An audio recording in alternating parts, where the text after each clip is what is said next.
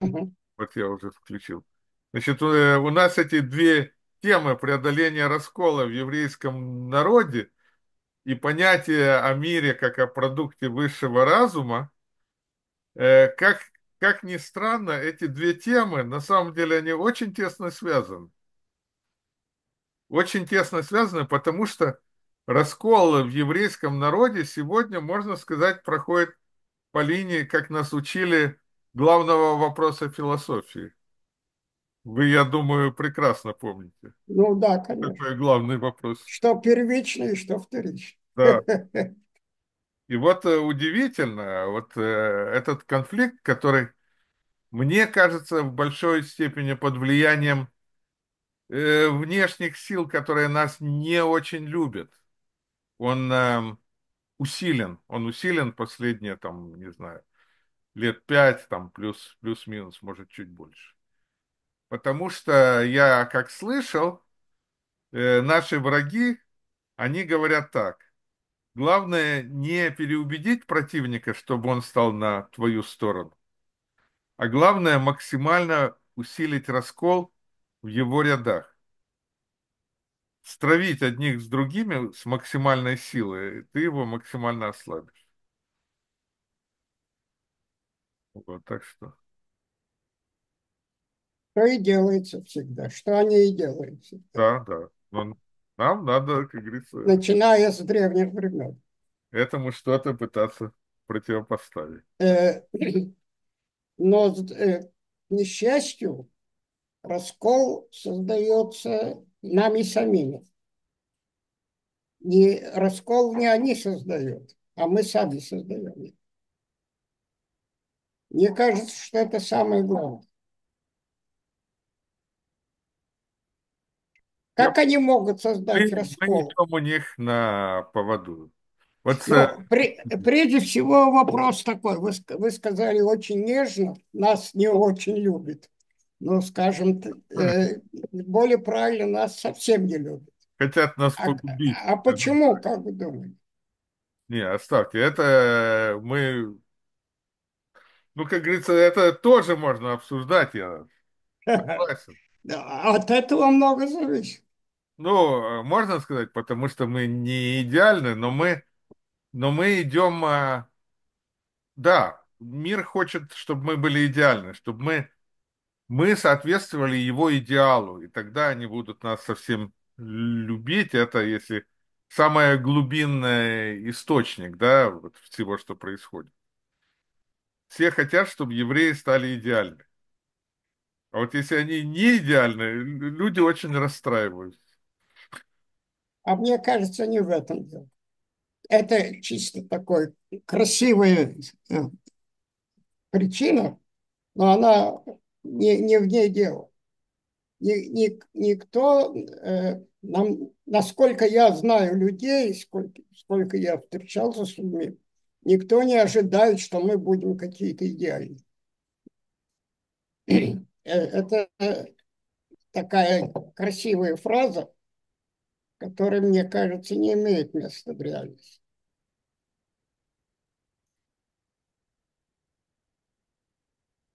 Ну, я, я вас слушаю. Да, Значит, э, главная причина, что нас не любят, это мы просто являемся конкурентами для всех.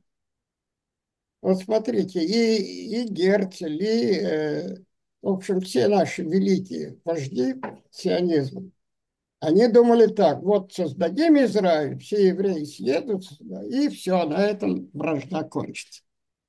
Ну, да. Ну, много, много, много всего. Они хотят э, Жаботинский Израиля точно, то- тоже так же и, думал. и, и друзей тоже. Но, но это действительно очень широкая тема. Мне, мне бы хотелось сузить, потому что Да, эм, вот смотрите, с э, самого создания государства Израиль э, приняли то, что называлось статус-кво, да, приняли какой-то компромисс, допустим, что на пляже люди ходят в шаббат или на машине ездят, э, те, кто не соблюдает.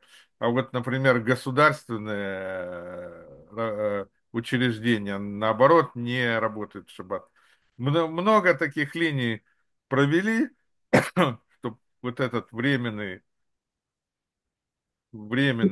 э, Ну, э, порядок, с да, одной стороны, то, чтобы что ц- было спокойно жить. И Израиль продвинулся, очень продвинулся, это начиная с понятно. Нового года. Но, но надо иметь в виду, что в Израиль съехались люди из э, совершенно разных культур. Ну да. Это э, восточная культура, по сути дела, арабская. Э, это культура советская, которую мы с вами перевезли, совс- совсем противоположная. Э, это эфиопы, э, с неизвестно какой, значит, э, культуры и так далее. Э, И было бы, было бы даже э, ну, неправильно ждать, что вот мы съедемся и, и, и, и подружимся все. Мне кажется, что вот э, разговоры о расколе немножко сейчас увеличены в том смысле, что они касаются нашего с вами поколения. Вот Наше поколение, которые прибыли из, э, из разных мест, мы действительно не можем договориться.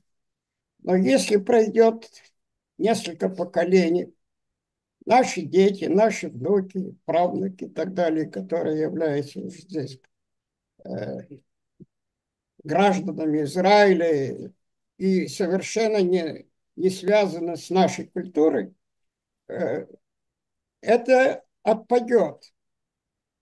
Единственное, что может не отпасть, и то, что действительно нам угрожает, это, я прямо, я бы сказал так, это невозможность или не любовь религиозных и нерелигиозных людей друг к другу. Так, если очень э, вот нежно э, сказать. как раз этого элемента, об этом элементе я и говорю. Это же было, Да, это самое главное. это И же дело вот в было, чем. да, Э, на- наша светская часть населения не очень себе отдает отчет в том, что где-то э, через несколько десятков лет количество ортодоксально верующих евреев вырастет до 50% у нас в Израиле. И если мы не найдем общий язык, то э, наша страна превратится в, ну, типа Ира- Ирана, религиозную страну. В наше время это совершенно недопустимо. Хотя я не- ничего не имею против религии самой по себе. Я имею э, в виду то, что э, надо найти способ договориться между собой. вот этот, А эм, в чем, а в, а в чем вот се- сегодня, на, на, на чем же зиждется взаимная ненависть? Значит, с точки зрения нашей, вот, моей, например. В Таре нет ничего того, или нашей религии в целом, в, иудее, в иудаизме, нет ничего того, из-за чего возникают эти споры, которые сейчас происходят. Ну, например, нигде же не сказано, что религиозные люди не должны служить в армии и не защищать свое, свое отечество. Мы этого нигде не найдем. Наоборот, наоборот, подчеркивается, что э, везде подчеркивается, что евреи э, все должны одно, э, все как один человек должны защищать свою родину. На каком основании? ну, по этому пункту, я думаю, сейчас приближаются Вот к э, я бы пон- я, я хотел бы понять, вот вы человек из, э, ближе к Вот той если можно, среде, я как раз поддержу вот эту да, тему, которой вы сейчас коснулись.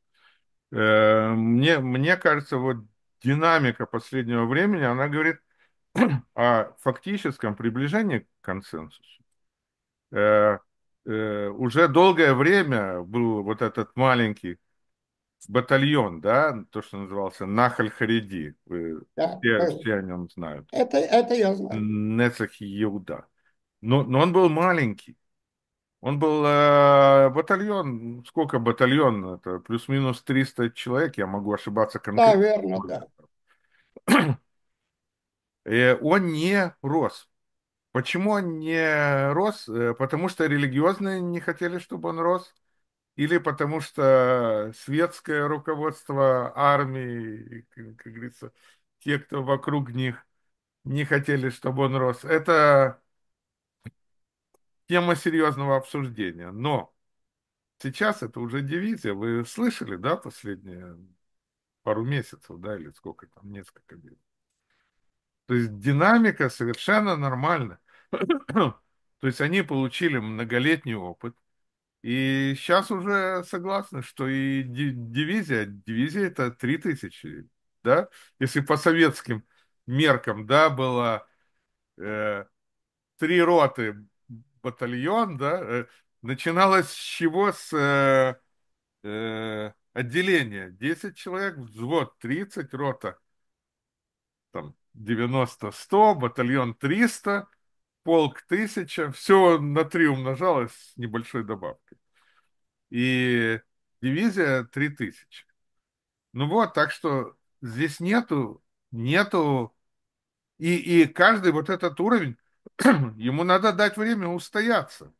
На батальоне они получили важный опыт, на дивизии другой опыт будет получен. Я, я вам скажу еще одно, я близко связан с этим вопросом, потому что э, Рав э, очень, как говорится, большой праведник, и э, Гаон, то, что называется, Зацаль, он уже Да, я знаю. Эм, э, э, Йо- э, Рав Йо- Йоэль Шварц.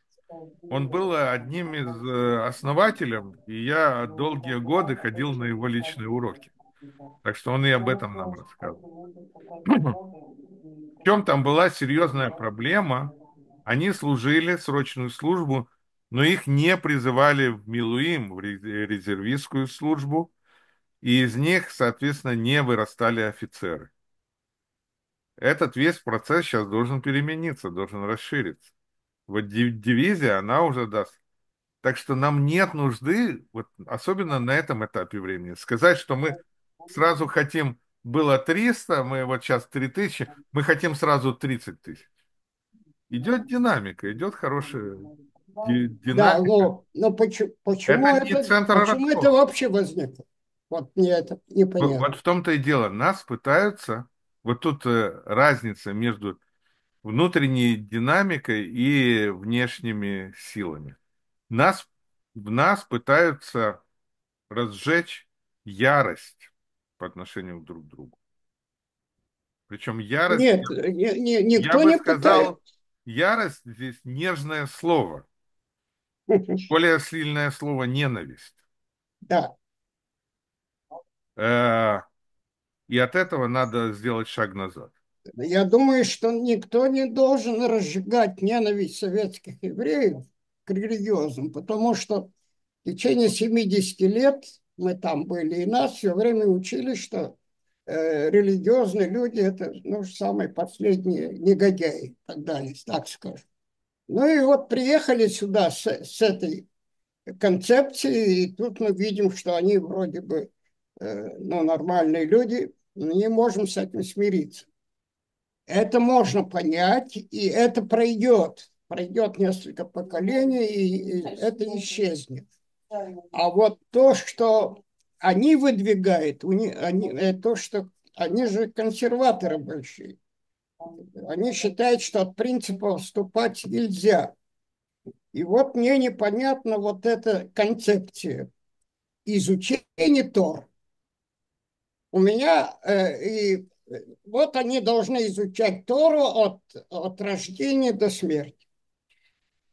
Значит, я, я вам уже говорил, что я родился, жил в маленьком еврейском местечке. Да, вы не просто религиозные местечки, вы люди. из э, семьи раввинов, рабанит, Да, отец у меня был фактически ортодокс, то есть конечно. хасид.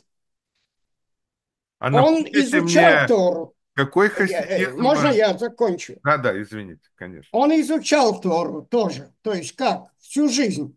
У него была э, библиотека, я как сейчас помню, в одной, в той комнате, где его комнате, одна стенка была полностью, э, в его, ну, эти, знаете, гемары, эти большие, большие книги. И не было такого дня, не было такого дня, чтобы он не доставал эту гемару и не, не читал ее, и не, не обсуждал, не рассуждал. Не, я такого дня не помню. Но он в то же время, в то же время, он очень тяжело и э, э, физически работал. Он же был шойхет. Ну, вы представляете, что такое шойхет? Это-то да. Это очень сложная физическая работа. Э, Он, кроме того, три дня, три раза в день должен был посещать синагогу. И все это он совмещал, и у него не, и у него не возникал вопрос, почему я должен это делать, и это не делать. А почему этот вопрос здесь возникает, что вот, вот они, вот они должны изучать Тору, и дальше поэтому они не будут работать, они не будут, они не будут служить, они всю жизнь будут изучать Тору. Я не знаю, откуда взялась эта концепция. Ее в иудаизме нет, этой концепции. Это придумано. Я вам могу немножко исторический контекст э, добавить. Я не знаю, все ли детали вы осознаете. Вот я как раз от Рава Шварца за царь очень многое узнал. Э, Был очень тяжелый период для религиозного еврейства э, между мировыми войнами. Ме- э, Удивительная вещь произошла.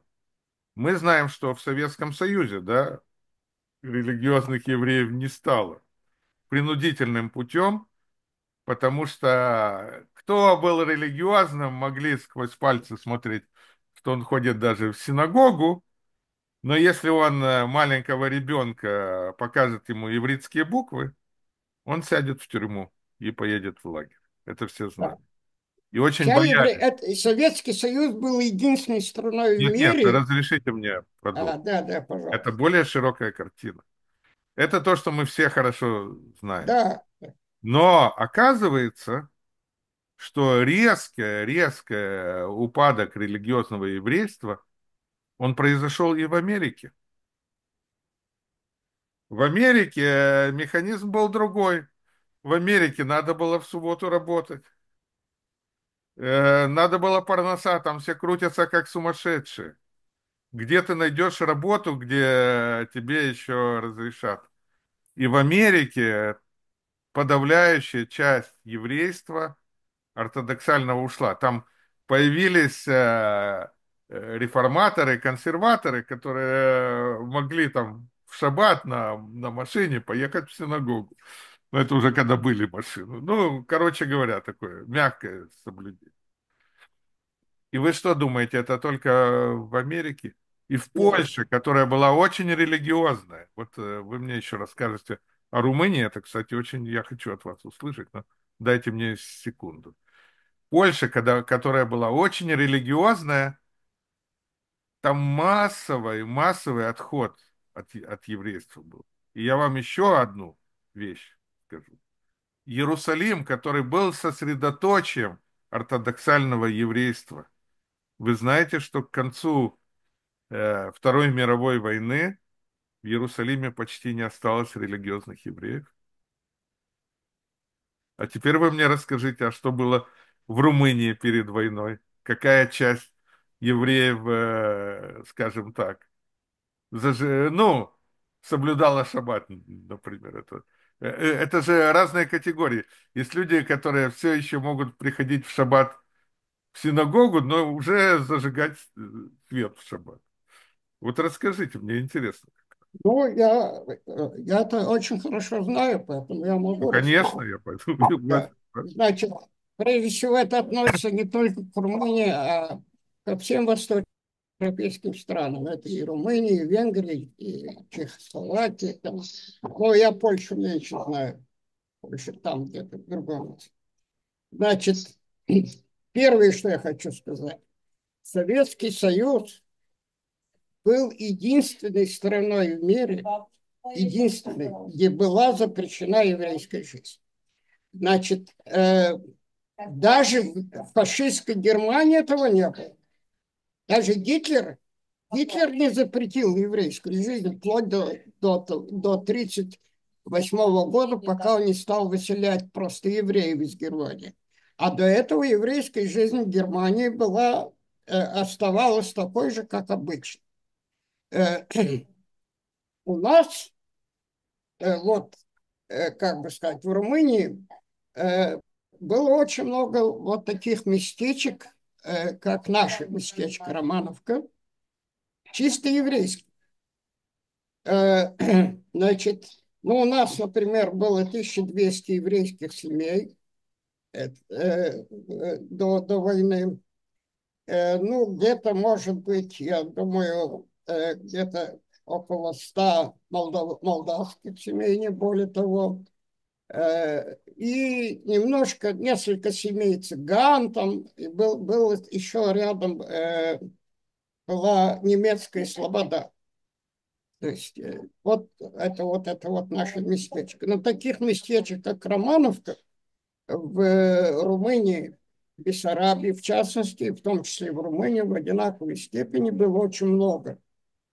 То есть, можно ну, так, так сказать. Э, я, я, я же присказку, обратите внимание, я присказку сказал, чтобы основную мысль я до нее еще не дошел. Все-таки скажите, какая часть евреев э, соблюдала шаббат? Я, я вам говорю, что у нас считалось, что все евреи нашего, нашего местечка за э, э, это немножко так. Все, сейчас я поясню все. Значит, все евреи нашего местечка соблюдают еврейский образ жизни. Так считалось. Но последние годы, ну, где-то, так скажем, э, конец 30-х годов, так, середина, конец 30-х годов, там у нас была гора, и вот там на горе начала селиться молодежь, которая относила себя, часть из них, сионистам, часть из них коммунистам, и они э, игнорировали самую еврейскую жизнь. К ним так и относились, но, но их было по отношению ко всему нашему населению, ну, процентов 3-4, не больше. Остальное это было нормальное еврейское. То есть вы э, хотите сказать важную вещь, что у вас большинство людей, у меня конкретный признак, не зажигали свет в шаббат. Нет, у нас зажигали свет, свечи всем. Ну, Нет, я имею в виду, молодежи, я говорю, не нарушали шаббат. Да. Значит, все без исключения, никто не нарушал. Дальше. Э, маленькое местечко, маленькое, 1200 семей всего, но были три большие синагоги, три. И э, в субботу синагогу не, негде было зайти, там всегда было переполнено. А какой хасидут у вас был, если можно? Да. Э, какой, какая, какая ветвь хасидута была у вас? Как? Какая ветвь хасидизма была у вас, хасидута? Значит, э, один, одинаковый для всех. Почему были три синагоги, я объясню. Три, ну, какой, это потом... какой? Вы, вы не, не знаете название? Название... Я, название не помню, но я могу объяснить, почему три разности. Вот здесь я вижу марокканские, там у нас этого не было. У нас были три, почему? Значит, одна синагога для бедных людей, другая синагога для интеллигенции и третья синагога для богатых людей. Вот так, она, так они делились. Теперь вот. вы мне скажите еще одну важную вещь. Э, сколько евреев стало получать э, высокое образование, светское образование? Еще раз могу сказать, что вот поехали евреев... в э, Бухарест или куда? Да. Большой... Во, во, во многих, то есть не во всех, во многих, многие еврейские семьи, э, отправ... во-первых, у нас была еврейская школа, начнем с этого, там вот, семилетняя школа, и мы все учились в еврейской школе, а не в румынской. Там еще румынская школа была. Но еврейская а тоже два вида. А? Были еврейские религиозные школы и были просто школы на идыше, где на идыше математику Тарбут, учили. я, я объясню, я, я, я не закончу. Да? Была Тарбут, это тоже действительно, как вы правильно отмечаете, это не было религиозной школы, это была, но все предметы в этой школе на, на иврите, все без исключения. На идыше. Не на идиш, а на иврите. Как, на математик? О, А? это уже новое. Никакой идиш. Идиш Почему- стал почему э, я вас спрашиваю? время. Не просто так. Моя, мои бабушки были учительницы. Моя бабушка была учительницей математики в еврейской школе э, в Красном, и, ну, там и в других местах она была. Это была еврейская школа на идыш, где Ну, математику это потому идыш что. Советский Союз. Э, Понятно, что идыш был А у нас языком пролетариата, а иврит А, был языком еще буржуазии. раз говорю, А у вас на- было на в этой я нашей школе все предметы преподавались все на иврите, на иврите. Идиш являлся, может быть, как, как отдельный язык, и то, и то не всегда. Мои сестры, братья, сестра, мои братья, и все кончили эту школу, я не успел, потому что я только до первого класса дошел. Так вы Э, а один пе- класс про- проучились в этой школе. А? Один, один год вы проучились в этой школе. Один год я проучился, но первый класс у нас был на идыш, так, чтобы А, ну, приучить понятно. э, учеников. А дальше шел на иврите. Мои э, все братья и сестра э, свободно говорили на иврите. Э, Они, кстати, общались между собой, молодежь собиралась, и все разговаривали на иврите, а не на идыш. Это мы, э, значит, мама, папа, я там, дети говорили на идыш, а они между собой на иврите говорили. Так, и были ли религиозные предметы в этой школе? Да, были, были. Э, Был этот Танах, изучался Танах, как, да. как предмет. Это как здесь, в израильской школе. Точно Вот это, это мне, это мне пахнет сионистским образованием. Потому Да. что сионисты, то есть вы ходили все, ну, эта школа, это была Но сионистская, это, Тарбут это действительно сионистская была э, организация. сионистская школа. Я- Это на самом деле так. Но, э, тем не менее, все были, еще раз повторяю, религиозными людьми. Дальше. Многие отправляли своих сыновей в Ишиву. Ну, у меня все браки кончили Ишиву. Все, без исключения, за меня. То есть за, за моим исключением. Ну, Вы, то А есть все- вы, вы маленький, я уже понял. Да, я Вы маленький. младший в семье, да? А э, большинство училось в Ишивах. Большинство. Многие не учились в Ишивах, но тем не менее э, они соблюдали еврейский образ жизни. Не было такого, чтобы, э, допустим, если э, разносился слух, слух, что Берл э, от такого-то там, из такой-то семьи э, вчера был где-то в каком-то там, значит, выселительном, и там продавали э, свиную колбасу, этого Берла э, начинали все это самое э, игнорировать, как будто он гой. Я всё. понял. То есть ваше местечко, оно сохраняло силу. Да, так А вот что таких было в Бухаресте? в, в- в Румынии Я, я, Было я вам очень хочу все-таки, вы- мы, мы очень ушли, хотя эти подробности очень важны. да, Но общая картина, она несколько другая, я вам сразу скажу. Э, И поэтому я сразу перескочу. А, а что в Бухаресте происходило, вы, может быть, меньше знаете. Нет, я говорю, я же сказал, местечки. Кроме того, правильно, были но города. у вас же сейчас более широкий кругозор. Э, Кроме того, были города, конечно. Был Кишинев, был Бухарест, были Ясы, были Галацы. Ну, не так много городов, но были. Ну-ну. Но я знаю о том, что у меня, у меня, например, у нас жила тетя в Кишиневе. Мгм. И они тоже соблюдали еврейский образ жизни. И в Кишиневе, несмотря на то, что это Кишинев был. Ну, там, может быть, э, было немножко больше таких э, сионистов, больше коммунистов, это безусловно, да. Но, вот, но в целом, в целом соблюдалось. Вот где не соблюдалось, я, я, вы правильно сказали, не соблюдалось, прежде всего, в Советском Союзе, была запрещена еврейская жизнь полностью. Не соблюдалась в Германии. То есть Германия, она не была запрещена, но она и не вып... Э, они говорили, мы, э, э, мы немцы, мы немцы Моисеевой веры, так они говорили. То есть они не соблюдали. Не, то, что начался распад жизни в Соединенных Штатах и продолжается до настоящего времени, это мы тоже с вами хорошо знаем. Я еще задавал всегда такой вопрос. На, на него не получал, не, не, до сих пор не получил ответа четкого и ясного. Я всегда задаю его. Вот скажите, пожалуйста, если бы не было бы Гитлера и не было бы Сталина, вот не было бы этих двух злодеев, не было бы этого антисемитизма, который, э, который э, прошел в 30-х, 40-х годов. Сохранилось бы ли вообще еврейство?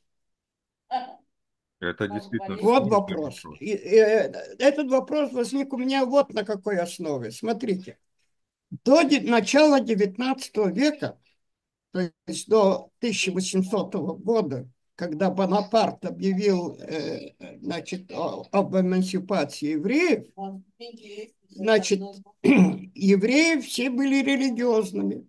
Везде соблюдался четко еврейский образ жизни. Очень мало евреев крестилось в то время, очень мало, почти что нет. И э, пытались местные власти перевести в христианство, и ничего не удавалось. Люди сжигали себя в синагогах. Мы знаем это, что во время крестовых походов это происходило, и после этого происходило. Но как только была объявлена эмансипация, резко ситуация изменилась. И э, 19 век – это век массового крещения евреев во всей Европе. Массовое.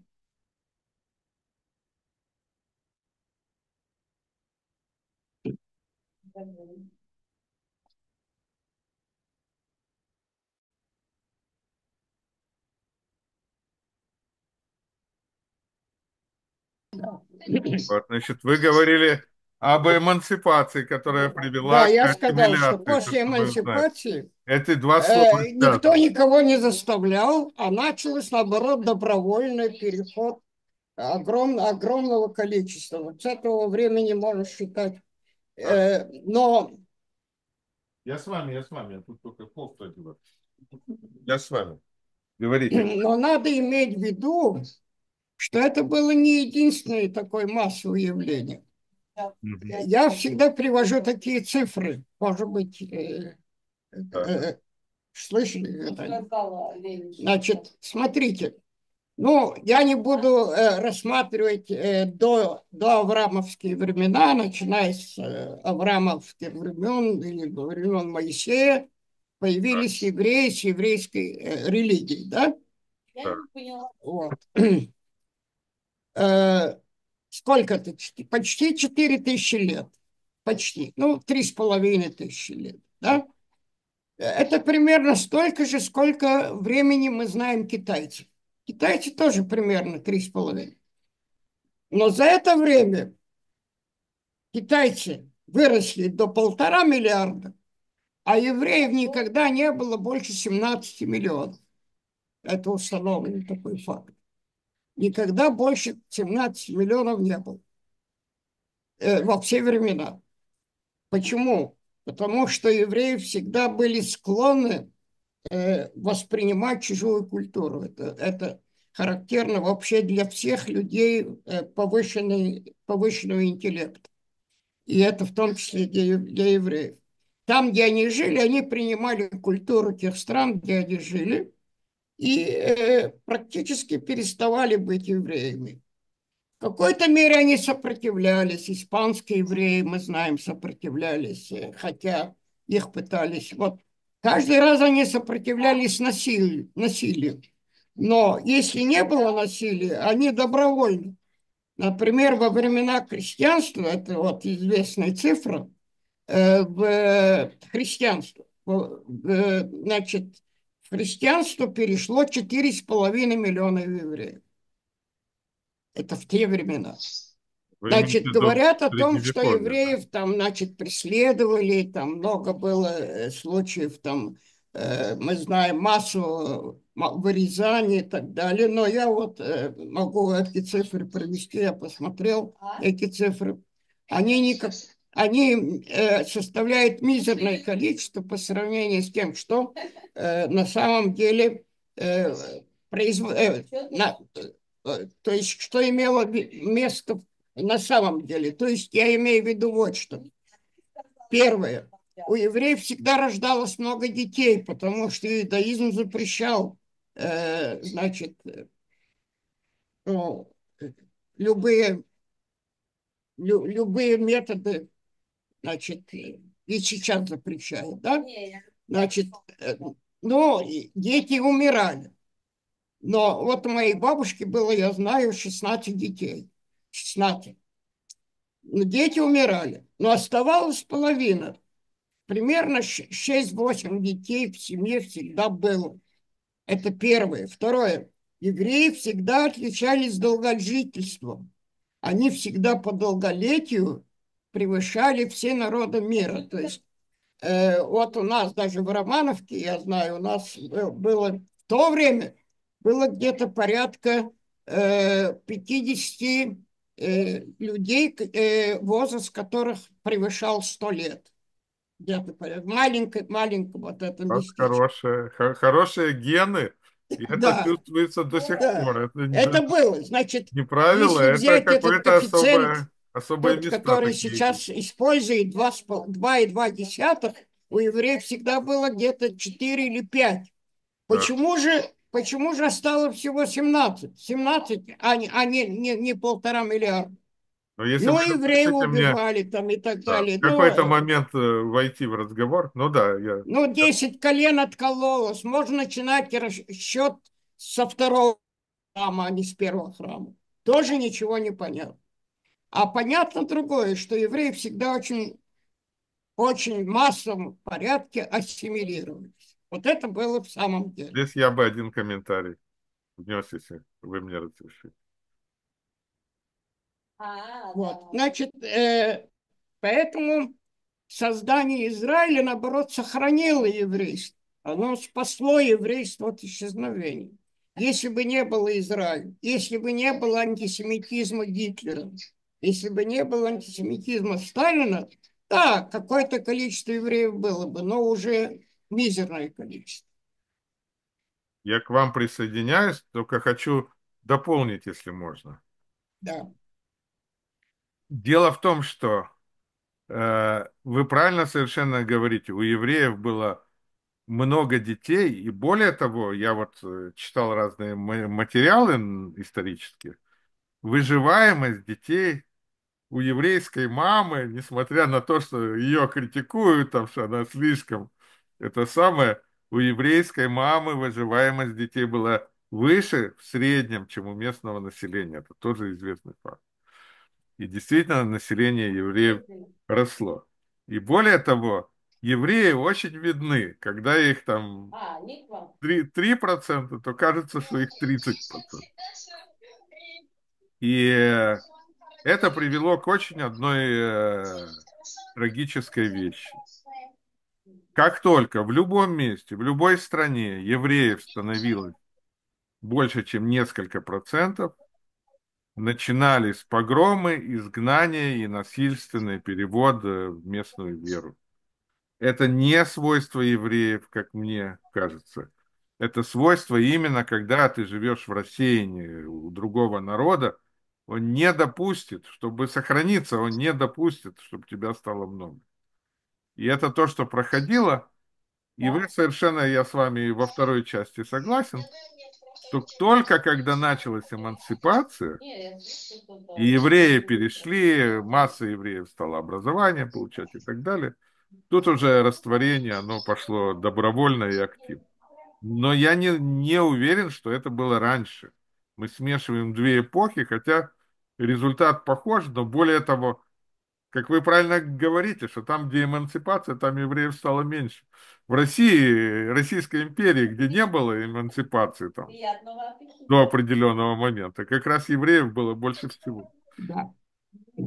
Вот. Но если продолжить, а что же было с религиозным еврейством, несмотря на то, что в Румынии, в тех местечках, как, э, где вы жили, и вокруг вас, еврейская жизнь оказалась устойчивой, Нет, там надо еще канал, узнать, да, ну, там немножко на фоне у вас разговаривают, это нормально или можно? Да, ну, ну, это у нас Оно в это запись попадает. Ну, ничего не ну, сделаешь. ну, хорошо. Изменить ничего не могут. Это вне, вне, вне нашего контроля. Да. Так э, э, у, у вас, э, э, мне очень интересно, если бы вы могли узнать, какой, какая, какое направление хасидизма было в ваших краях. Действительно, были хасидские регионы, которые были более устойчивы. Но в большой массе э, от э, религии евреи отошли. Почему мы об этом знаем? Во-первых, я знаю из э, свидетельства очевидца, вот э, Рав Шварц за, его, его очень юные годы проходили в Иерусалиме, вот во время войны, после войны. И он рассказывает, что остались единицы. Это одна сторона. Другая сторона, мы знаем из исторической записи, когда Бен-Гурион освободил учеников Ешив от службы в армии, то несколько сот человек нужно было освободить от службы в армии. Это говорит, что подавляющее большинство евреев, которые переместились в Израиль, а из западных стран и Америки там было маленькое, ну, может, из Германии, они были нерелигиозны. То есть была полная, Не, ну полная катастрофа религиозного мира к э, концу, к концу мировой войны. И Но мы это знаем по Советскому Союзу, но оказывается, по разным причинам процессы пошли, прошли во всем мире. Религиозных людей почти не осталось. И те люди, которые взяли себе за цель э, возрождение религиозного еврейства в Израиле, вот кто-то из э, великих лидеров, он сказал, что как минимум, чтобы восстановить еврейство, как минимум три поколения должны чисто заняться Торой и стараться Тору сделать центром своей жизни и из- изучения Торы. И как мы знаем, что этому возникли неожиданные материальные условия, что репарации из Германии, да, вы это, наверное, тоже знаете. Репарации из Германии позволили вот этим религиозным евреям, которые во многом были из тех, кто пострадал во время войны, получить средства к жизни и жить на это и только учить Тору. Более того, похожее явление Хорошо, что произошло и в Америке. В Америке религиозное еврейство почти сошло на ноль к э, Второй мировой войне. А после Второй мировой войны вот эти зародыши, вот были хасиды, э, в частности, мы знаем о Хабаде, Раби Раяц, предпоследний э, Ребе Хабадный, и другие. Там тоже возникла значительная, ну, какая-то часть людей, которые на репарации после войны смогли, по- получили возможность полностью посвятить себя и изучению Торы, И действительно у них большая браха, что у них э, большие семьи. Ну и многие люди делали шуву. Там А сказать точно, а какой его процент среди сегодняшних харидим это потомки тех, кто концу войны соблюдал все, или, или потомки тех, кто сделал шуву вот в эти разные периоды. Это еще требует изучения. Но, но было сказано, что три поколения должно, как минимум три поколения должно постараться только заниматься Торой. Не было сказано, что это на вечные времена. И теперь идет спор аллахический, что такое три поколения.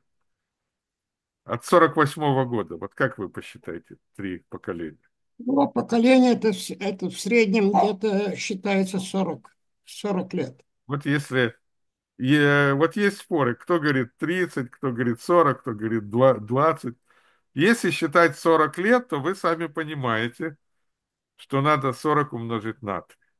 Это много. Это много. И теперь вопрос, как Израилю к этому относиться. Ведь все равно какой-то процент отходит. Вот эта светская жизнь, она вовлекает, и есть много, какой-то процент тех, кто Хазарли Шейла, да, отошел. Или, или, допустим, был э, Харидим, а кто-то переходит, становится Хардаль, кто-то становится религиозным. Вот если, если 10 э, да, детей в семье, да, и какая-то маленькая такая 100 крышка, внуков и да, 1000 это правнуков, да, если такие семьи, к примеру, да, если среди этих правнуков э, одна десятая отойдет от такого строгого изучения Торы, того, что только Торой занимается. Я уже не, не говорю, что среди тех, кто Торой заниматься, если сегодня реально посмотреть там э, работающих процентов 55 среди мужчин. Если э, о женщинах там совсем еще отдельная история. То если даже десятая часть отойдет, то у этого прадедушки сколько, э, сколько правнуков будут в армии служить? Давайте посчитаем. Мы с вами цифры любим. Значит, если у него 10 детей, 100 внуков и 1000 правнуков, и даже 10% от них перешли в ту жизнь, где идут в армию, то у него 100 правнуков пойдут в армию. Ну. Правнуков, правнучек. А сколько у светского дедушки, у израильтян были больше семьи, чем в Европе. Было трое детей, девять разве нет внуков так? и 27 Есть. правнуков, да? У него 27 идут в армию. И это мы, мы, мы видим, если вы сегодня возьмете сегодняшних э, поняли, людей, да. там даже молодого я возраста, тебя и, спра- и спросите у них, твой прадедушка был религиозный или светский? забрала. Хорошо, я скажу. Вы знаете, что будет? Это я все понимаю. Больше, большая Э, часть Ваши, цифры убедительны. прадедушка был религиозный. Но, но сейчас другое, сейчас еще э, дру- другая сторона. Значит, сейчас возникло переживание, вот буквально в последние годы, и до последних, там, не знаю, лет пяти, все 40 знали, что есть такое положение, но это не доходило до какой-то истерики. Израиль жил, Израиль двигался вперед, да. Были религиозные районы, были светские районы, кто-то там религиозные сионисты и так далее. В последнее время это очень обострилось, потому что религиозных стало много. И вы это сказали. Это одна сторона. Но с Ну, другой стороны, мы-то приближаемся ко времени массовой безработицы. Об этом мы немножко забываем. То есть люди думают, если такая динамика, что будет там через 30, э, 30 лет, да? Когда еще одно поколение придет. А мы спрашиваем, что будет через э, своей 5 мамой лет или пятницу, 10 и лет? Скажи, что ты хочешь поехать к нам, и что мы можем тебя забрать. Уже, ой, может там сделать перерыв маленький, хотя даже... Вот, э, только одну фразу хочу сказать. Если кто думает, что э, роботизация и массовая безработица это далеко, то я хочу сказать только одно, что автономные машины в Америке уже вышли Нет, массово э, в американские города в Калифорнии, и буквально в считанные годы там много миллионов водителей, по крайней мере, останутся без работы. Это только первый шаг. Все, я отдаю, отдаю микрофон. Да, значит, все то, что вы говорите, это правильно. Но мы же с вами озабочены совсем другим. Как устранить раскол внутри нашего народа? А для того, чтобы устранить раскол, надо, чтобы обе стороны пошли навстречу друг другу. Дело в том, что кроме вот этих цифр, которые вы приводите, и которые, кстати, никто не знает, у людей совершенно другие представления об этом. Абсолютно другие. Значит, есть такое мнение, что вот все, все, вот такое мнение, все религиозные не хотят служить в армии, и все религиозные не хотят работать. Э, мнение неправильное, безусловно, но это мнение поддерживается нашими СМИ, э, это мнение поддерживается там э, различными группами, различными, и поэтому оно продолжает жить. Но я что хочу сказать?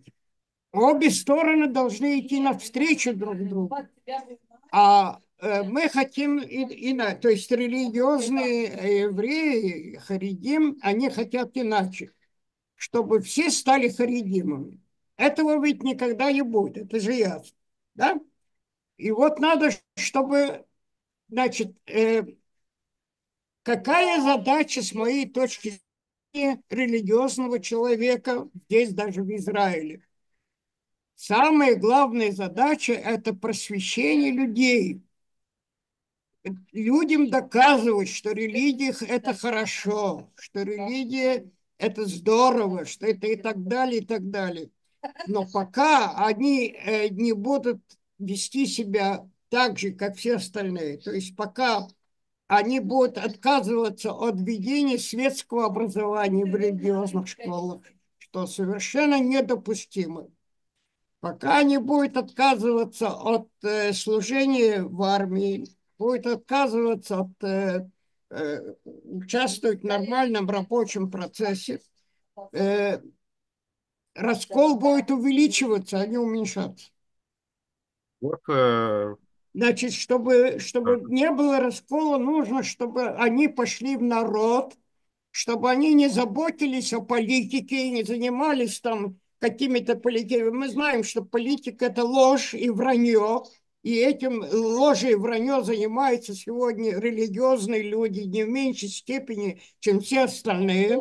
То есть они не должны к этому стремиться. Они должны стремиться наоборот. Вот в этом смысле даже я бы считал, что православная религия правильно поступает, что не допускает, не разрешает своим э, священникам участвовать в политической игре, в политических играх. Они не могут быть депутатами, они не могут быть э, э, в составе правительства и так далее. То есть религиозные, э, и, ну как это самое, ядро должно заняться просвещением. Надо, чтобы это просвещение проникло и в светские школы, но надо, чтобы светские, э, ну так называемые светские дисциплины проникли в религиозные школы.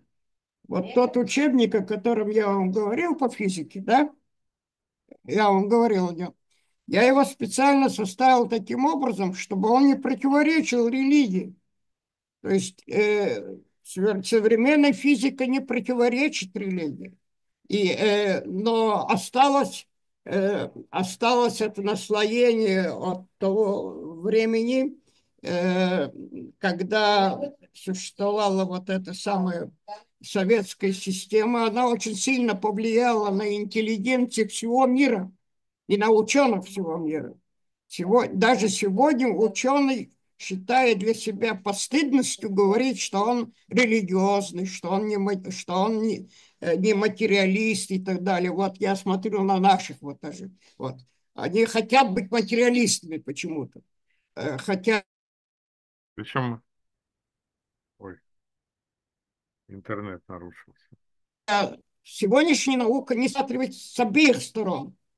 Это одно дело. Второе. Харидим не, не, тоже не э, одинаковы. Есть совершенно разные общины.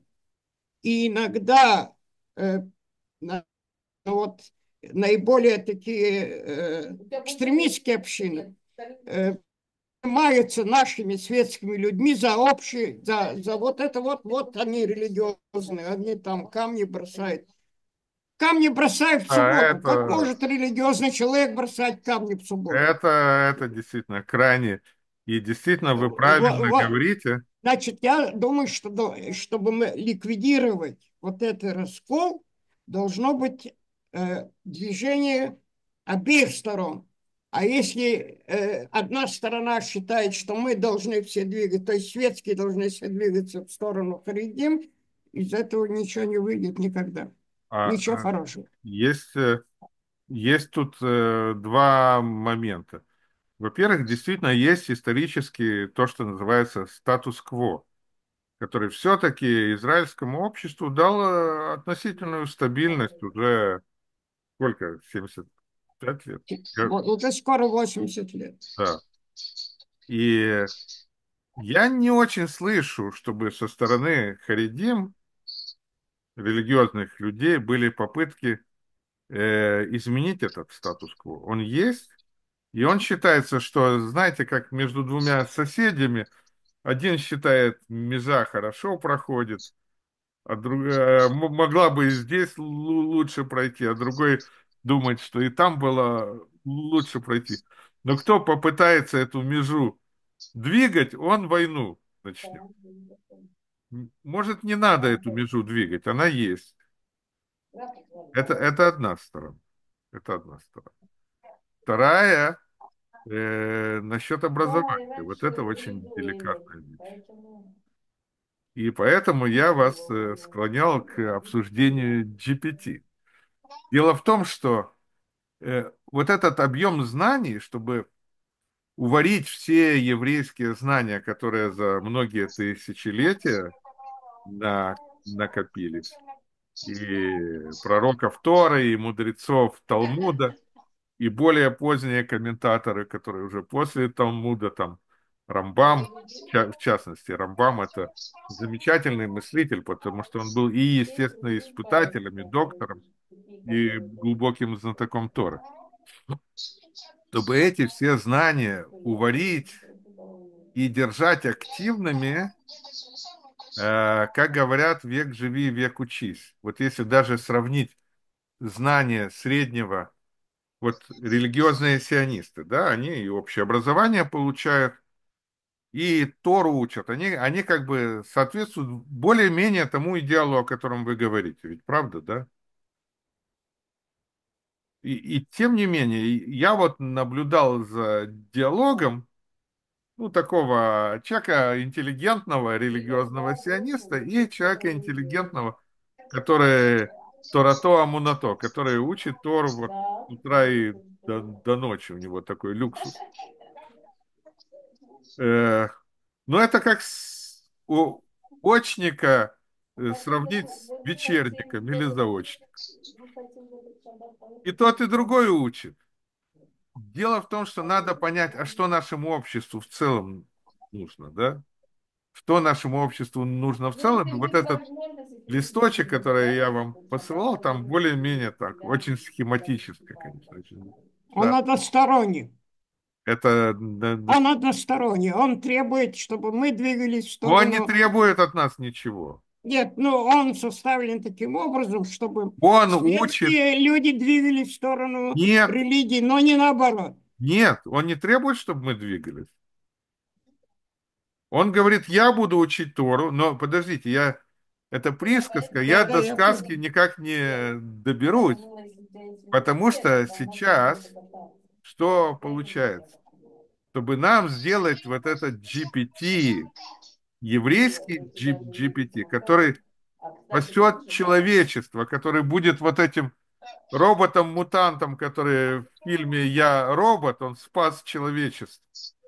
Чтобы он спас человечество, воспитать его на еврейских основах, там есть один очень важный этап.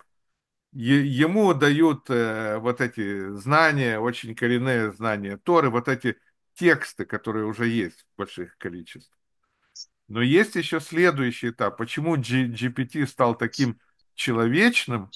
Потому что его дообучали. Есть такое э, обучение с подкреплением, которое делают живые люди. И вот эта фирма OpenAI, она наняла, я подозреваю, что огромное количество каких-нибудь индусов, потому что за небольшие деньги, но люди, говорящие по-английски, которые дообучали ему, э, которые много вопросов и ответов проверяли и ранжировали, что он ответил лучше, что хуже.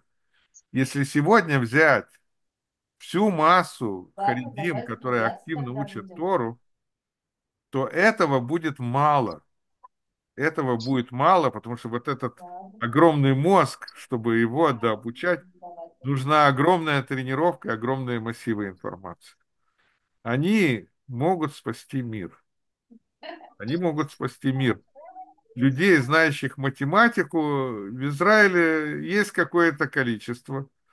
И, кстати, к сожалению, и среди них много безработицы появится, потому что уже программист автоматически уже вот недавно совсем появился, который не просто пишет программы компьютерные, а пишет, запускает их, смотрит, как они работают, корректирует и выдает вам в конце работающий продукт. Вот э, удивительным образом, учитывая, что идет массовая безработица, и нам надо будет думать наоборот, вот эти миллионы людей, которые окажутся ненужными, как сделать, чтобы они не деградировали? Они, конечно, все подсядут на компьютерные игры и виртуальные миры. И тут вот мы уже должны сравнивать. А что лучше? Заниматься с утра и до ночи изучением Торы или, или компьютерными играми? Или там разными развлекательными зрелищами в интернете? Вот такое сравнение уже совсем в близкое время. Настолько сейчас быстрый переход этот, мы не успели к нему адаптироваться. Мы еще аргументы используем до GPT. Мы аргументы древнего времени, двухлетней давности используем. Вот эта перемена, вы знаете, ему два, два года, да? Вот этот GPT, он в, ноя- в ноябре 2022 года пришел. Это древность просто какая. И все эти аргументы, они, э, люди не, не успели к этому адаптироваться. Они еще живут вот этими старыми распрями, которые, вы правильно сказали, они нагнетаются. Средства массовой информации в Израиле, они находятся под влиянием э, внешних сил, которые, как я мягко сказал, нас не любят. Под сильным влиянием. Ну, отдаю микрофон, а то я злоупотребляю. Да, значит, э, А вы, а вы очень я, терпеливы. я просто хочу сказать вот о чем. Если мы хотим, допустим, чтобы этот процесс как-то возник, э, и чтобы возник процесс э, объединения людей в нашей стране, э, мы должны, мы должны создать какую-то программу своей, своей деятельности, в которой надо предусмотреть движение напротив друг друга. Мы должны настаивать на том, что, первое, э, все харидим должны служить в армии. Второе, никаких э, не должно быть льгот там для каких-то там отдельных людей, не знаю. Все должны служить. Э, так же, как, между прочим, и арабы в том числе. Но если ты не имеешь права держать оружие в руках, я не знаю такого в э, иудаизме, не, не видел, но можно э, не, не обязательно в боевых частях служить, но служить можно. Значит, надо настаивать на том, чтобы в э, религиозных школах были введены светские дисциплины, чтобы там изучалась не только математика и английский, как сейчас считают, но обязательно физика и э, биология. Я не знаю, там химия. Это обязательно должно быть, потому что иначе э, вы посмотрите, ведь что происходит. Э, ведь мы говорим о том, что мы, идет рознь, но ведь рознь происходит потому, что они же изолируют себя от всех остальных. Они даже живут отдельно, в отдельных районах. Они не хотят жить вместе со всеми. Как Более того, привыкли, они телевизор не смотрят и интернет э, да, э, они же привыкли. Кстати, э, насколько я понимаю, что э, даже в старое время э, вот эти все гетто возникли не столько потому, что их хотели, они сами сначала изолировались, а потом уже поняли христиане, что это очень хорошо, и э, добавили эту изоляцию, то есть создали гетто. Э, и вот эта взаимная изоляция, э, она ни к чему не приведет. То есть надо э, привлекать религиозных людей к просветительской работе. Они должны, они должны уйти из политики. Они не должны политикой заниматься, а должны заниматься просвещением людей. Если это произойдет, тогда будет встречная работа, иначе ее не будет. Ну, вы обратите внимание, что современный мир, он очень агрессивен к людям традиционным. И это мы видим и в Америке даже традиционное, даже традиционное евангелическое общество, хотя оно достаточно еще мощное там, оно постепенно размывается. И вы можете даже увидеть на примере религиозных сионистов. Они очень такие настойчивые. Тем не менее, у них около половины детей э, отходят. Да, я Современный мир очень агрессивный. Он, э, если от него не, не изолироваться, произойдет то, что уже один раз произошло. Религиозных евреев к концу мировой войны не осталось. Осталось какой-то там маленькие проценты, очень, очень маленькие проценты. Но изоляция, она -то еще хуже э, приводит ну, подождите, приводит к остались маленькие проценты, то есть они бы исчезли. Вот в том-то и дело. Это очень сложная, очень да. сложная тема, где вот этот правильный баланс. И тогда я прошу еще один вопрос. А хватает ли нам людей, знающих математику? Или недостаточно? Может, мы хотим действительно хай-тек еще более энергично развивать и так далее. Но религиозное сообщество, оно не, неизбежно размоется. Если оно прибли... если, э, если они начнут смотреть телепередачи, то все. Э, там э, такой идет поток на подсознание зрителя, что человек даже не замечает, как он уже, он уже другой. А по какому городу ты?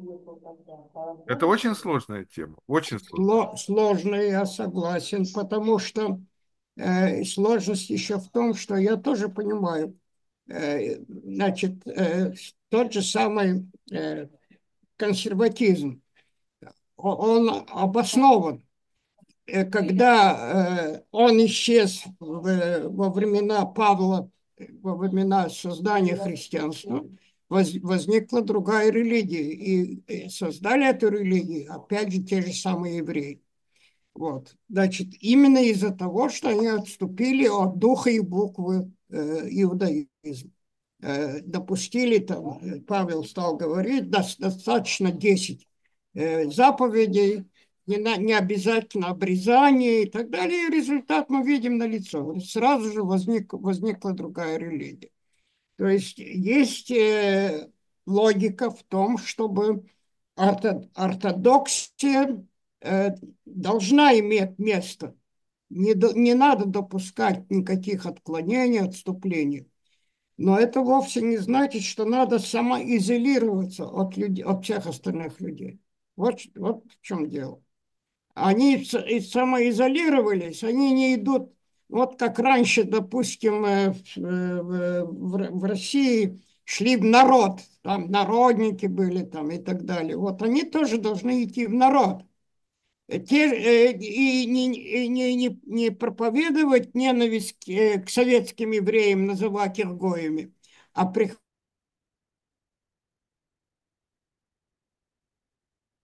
к советским евреям, их убеждать через детские сады, через, я не знаю, через всякие учреждения, э, они должны, их влияние должно увеличиться, безусловно, и, э, и, наоборот, и должно быть наоборот, то есть и то, и другое. И тогда э, все-таки кое-что может потерять израильское общество в этом случае, но главное, что она выиграет, она станет более единой среди Харидим э, вот это движение по приближению к Торе, оно довольно сильное. Ну, во-первых, все знакомы с Хабадом, да, который вообще везде, да. Хабад, да? Ну да. Движение Хабад, которое везде, которое в Киев После Чернобыля приехали вот эти молодые рабаним с семьями, с маленькими детьми после Чернобыля. Какая самоотверженность у них. Но не только. В Израиле есть еще э, сеть семинаров, э, называется Арахим, когда дают такие лекции и встречи э, в гостиницу можно поехать на два дня по льг- льготным таким на льготных условиях, и там совершенно замечательные лекторы, которые, кстати, многие из них сами сделали чуву, и поэтому они понимают, они видят э, две стороны этого мира. Изоляция – это большое самопожертвование. Они ведь очень бедно живут. Э, Я Это я знаю, да, Я, я был в семье русскоязычного раввина. Он, кстати, выпускник прикладной математики. Такая очень интересная э, Рав э, Каплан, он в Иерусалиме, на севере Ие- Ие- Иерусалима. У него было, по-моему, 12 детей на тот момент а, а дети не, не, необычайно дружелюбные. Я вот к ним приехал на, ша, на шаббат, они меня прямо отхватили, еще соревновались, кто будет со мной идти. Кончилось тем, что я там двух или трех мальчиков за одну руку вел, и двух или трех за, за другую руку. И мальчик, которому, ко- которому было, ну, лет де- 10, у него брюки шнурком завязывались. И я ему говорил, я ему сказал, да, вот у тебя такой шнурок. Он говорит, да, вот когда у меня будет бармицва, мне кожаный ремешок подарят. Мне уже обещали подарить кожаный ремешок на бармицву. Может, он ближе был к бармицве. То есть очень скромно живут, это очень большой подвиг. Как они выживают? Между прочим, у них есть, э, наверное, вы тоже знаете, э, то слово, которое в Советском Союзе было заезжено. Потреб кооперация. Вы знаете, что Я знаю. Да, я потреб... знаю, что. А что реально в Израиле они делают, вы тоже знаете, да? Они заказывают там э, грузовик кур, допустим, и оптово прямо с фабрики привозят э, грузовик кур, он или по небольшой цене, или даже, может, кто-то пожертвовал по оптовой цене. И таким образом они выживают. Это довольно большой подвиг. И вырастить 10 де- детей, если в советское время вот взять э, пару молодую, и они скажут, мы готовы, семей... знаете, семейные детдома, мы, мы готовы содержать семейный детдом для десяти детей. Что, что будет? Им дадут бесплатно и дом, и питание, и за- зарплату еще за, за то, что они это делают. То есть это, это, это, можно сказать, в каком-то смысле подвиг. Мы, мы дол- должны только посмотреть, и этот все время правильный вопрос возвращается для ближайшего будущего Израиля. Плохо или хорошо? Прежде всего, они не настаивают на том, чтобы светские изменили образ жизни. Вот этот статус-кво, который до сегодняшнего дня был, я не особо слышал, чтобы Харидим э, настаивали на то, чтобы его сдвигать куда-то. Он был, он остается. То, что беспокоит светских людей, что их, их стало больше, большая часть в обществе. А сможем ли мы так выжить? Но и, и то, то, то, что вы говорите, призыв в армию. Вот насчет призыва армии, вот даже сегодня, в данную секунду, есть два пути. Первый путь начать воевать за закон о всеобщем, призыве. Почему они опасаются этого закона? Они не хотят, чтобы молодые люди были призваны в те части, где нет для них условий. Если молодой человек религиозный попадает в окружение, где светские командиры, светское окружение, и там э, девушки и ребята ходят в перемешку, э, они знают, что это на, на него подействует. А есть другой путь. Есть другой путь, и он уже идет на, на наших глазах. Уже сделали эту харидимную дивизию. Да, Дайте вот ей я несколько лет, хотел сказать. дайте несколько лет этой дивизии оформиться и посмотреть, как оно идет. Зачем сегодня нам развивать давление на этом направлении? Оно уже прошло. Оно уже прошло, продвинулось, дайте ему развиться, дайте ему там 2-3 года и посмотрите, что будет. Может, из этой дивизии потом можно будет сделать две или три. И так постепенно это...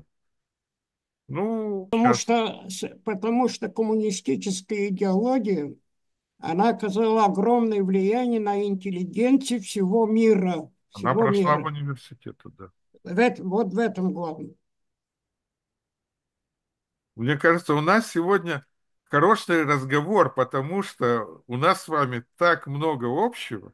Прежде всего, вы физик, и я физик в душе. Это еще лучше. Ну, не, не только в ду- в душе, я люблю физику и конкретные вещи делаю. Замечательно, это очень хорошо. Вот, но у нас с вами много общего, и есть достаточно ума, чтобы вот этот мостик, его надо строить, большую энергию. Да, и, и я не против, пока есть воз- у меня силы позволяет. э, ну, вы знаете, мне 94 год. Ну, дай бог до 120, Пока есть чтобы, возможность, э, пожалуйста, я готов участвовать. Пожалуйста. Я, я с удовольствием. чтобы придумали скорее молекулу, пусть вот этот искусственный интеллект работает, которая эликсир знаете, молодости, многие- которая многие- начнет омолаживать клетки в человеке.